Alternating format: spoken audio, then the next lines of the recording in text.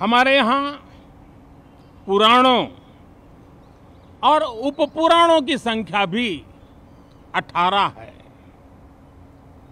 18 का मूलांक 9 है और 9 पूर्णता की गारंटी देता है।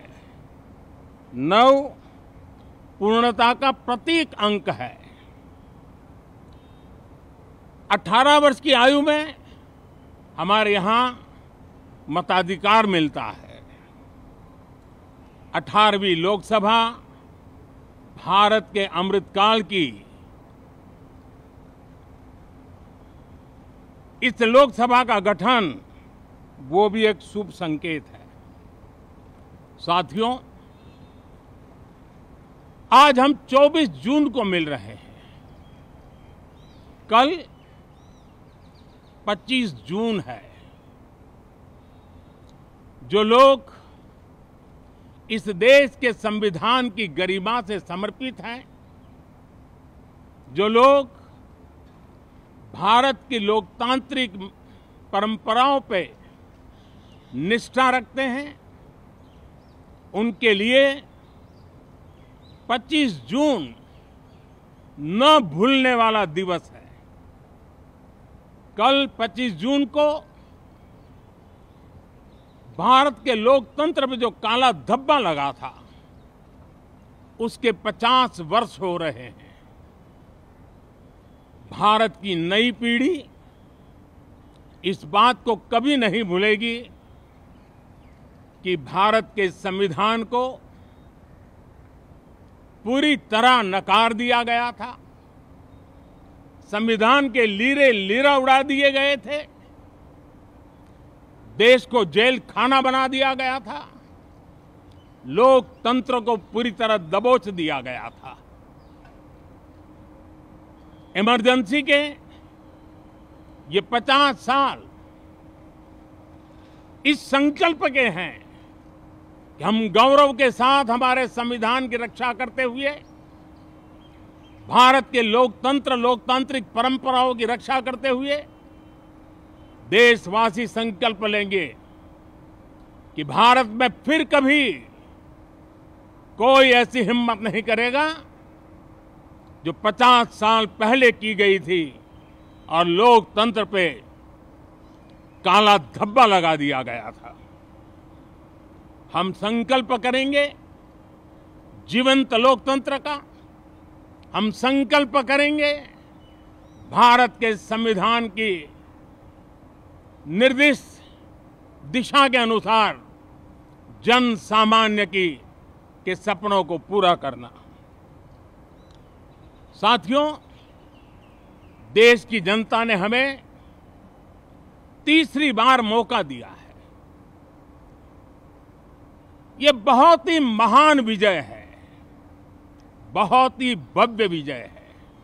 और तब हमारा दायित्व भी तीन गुना बढ़ जाता है।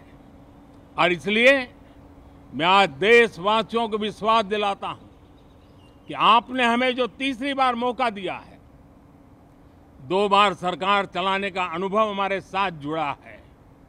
मैं देशवासियों को आज विश्वास दिलाता हूँ कि हमारे तीसरे कार्यकाल में हम पहले से तीन गुना ज़्यादा मेहनत करेंगे। हम परिणामों को भी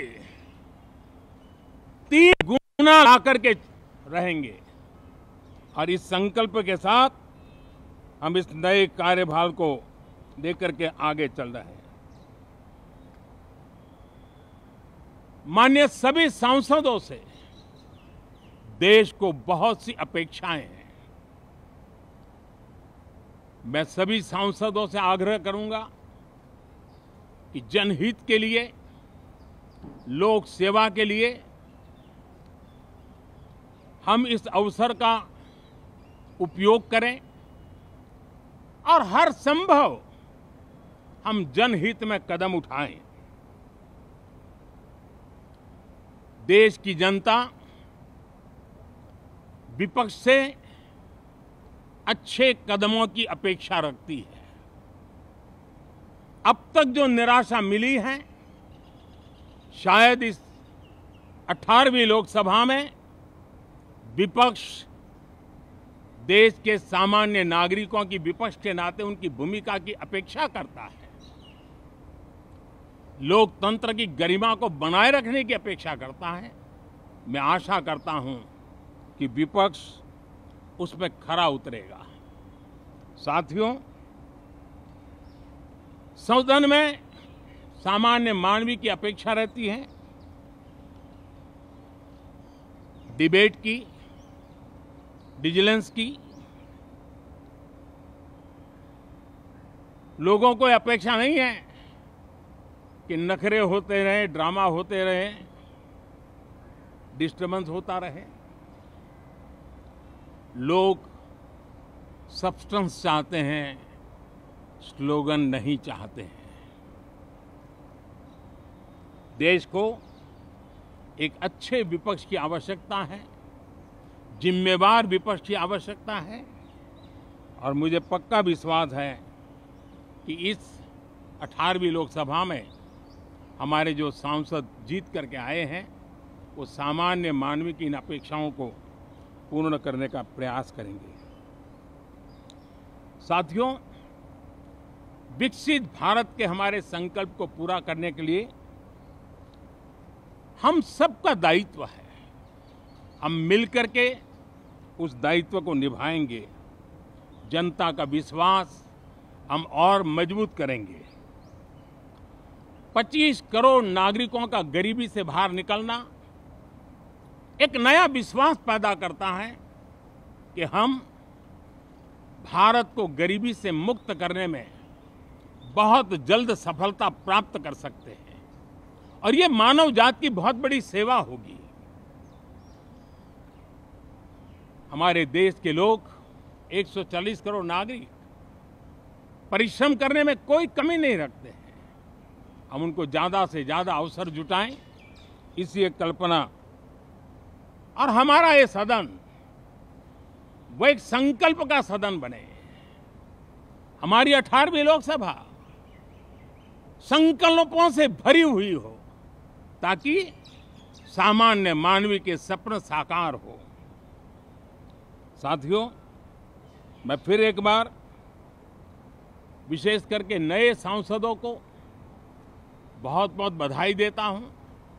सभी सांसदों का अभिनंदन करता हूँ और अनेक अनेक अपेक्षाओं के साथ आइए हम सब मिलकर के ने जो नया दायित्व दिया है उसको बखूबी निभाएँ, समर्पण भाव से निभाएँ। बहुत बहुत धन्यवाद साथियों। जदि आपण को आम भिडी भल लगा तेब आम को लाइक, शेयर और सब्सक्राइब करने को जमा भी बुलां नहीं।